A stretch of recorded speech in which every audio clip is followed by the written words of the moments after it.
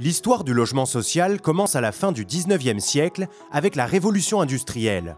Les conditions de vie des ouvriers alarment des philanthropes et des entrepreneurs qui décident d'agir pour améliorer leurs conditions d'habitat. Apparaissent alors les premiers organismes d'habitation à bon marché qui proposent l'accès à la petite propriété ou à la location. Parallèlement aux coopératives, souvent issues du mouvement ouvrier, des patrons imaginent près de leurs usines des immeubles à la location – la loi Siegfried de 1894 sera la première grande loi de politique du logement social en France. Des cités-jardins voient le jour, comme à Strasbourg, avec la cité-jardin du Stockfeld.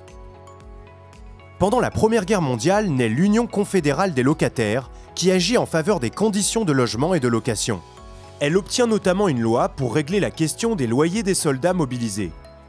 C'est la première reconnaissance officielle du rôle des associations de locataires. Après la guerre, les prix des logements s'envolent et les organismes se lancent dans de grands programmes de construction, en accession comme en locatif.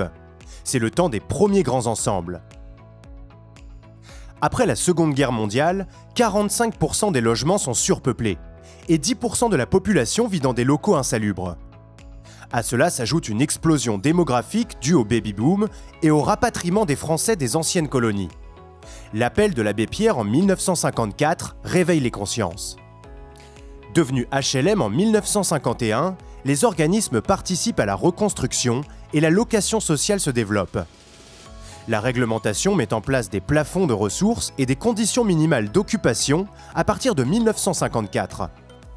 C'est une période de construction de masse qui permet à une grande partie de la population d'accéder au confort les coopératives d'HLM innovent et inventent la location coopérative, où les locataires sont également propriétaires de leur immeuble. C'est le principe de la maison radieuse, créée par Le Corbusier en collaboration avec une coopérative d'HLM à Rezé-les-Nantes en 1955.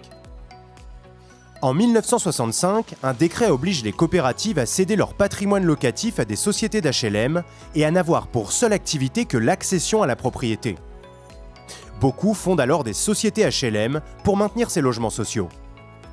Les années 80 marquent la prise de conscience d'une nécessaire politique de la ville. Le mouvement HLM se réforme, la qualité de service, l'accompagnement social sont mis à l'honneur. Les coopératives d'HLM retrouvent progressivement toutes leurs prérogatives et mettent à profit leurs compétences dans le locatif comme dans l'accession.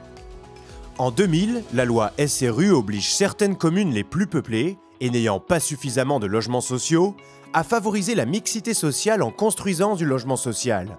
Trois ans plus tard est créée l'Agence nationale pour la rénovation urbaine. Il faut rebâtir certains quartiers d'habitat populaires afin de mieux les intégrer à la ville. Les opérations de démolition-reconstruction s'engagent alors que se redessine une profonde crise du logement abordable. Aujourd'hui, alors que l'envolée des prix de l'immobilier se poursuit malgré une précarisation croissante de la population française, la nécessité d'un parc de logements à coût abordable intégrant les enjeux du réchauffement climatique est plus que jamais indispensable. Les coopératives d'HLM travaillent de concert avec les habitants et les élus pour répondre à ces enjeux.